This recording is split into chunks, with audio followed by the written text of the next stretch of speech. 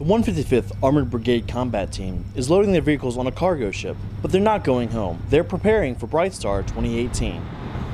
Bright Star 2018 is a multilateral U.S. Central Command training exercise held with the Arab Republic of Egypt in Egypt. An exercise of this scale takes lots of preparation. An event like this takes months of planning, going all the way back probably five or six months. The 155th didn't load the barge alone. It took a lot of help from the 595th Transportation Brigade. Uh, today we are loading the cargo for the Bright Star.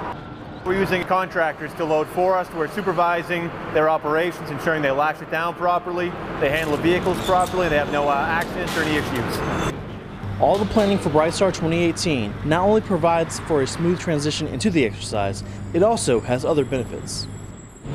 An exercise like this helps it, it helps you use your skill sets across the brigade.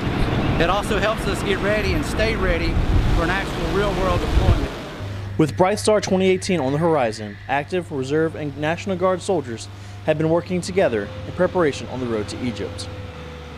Reporting for the 155th Armored Brigade Combat Team, I'm Specialist Jovi Prevot.